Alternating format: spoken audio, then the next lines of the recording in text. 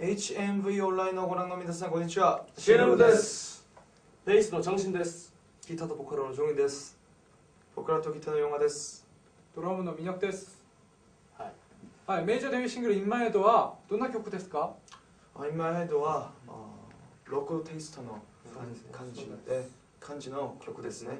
歌詞は夢と希望の思いを込めています。はい。定着してみてください。はい。以上。シェルムでした。ありがとうございます。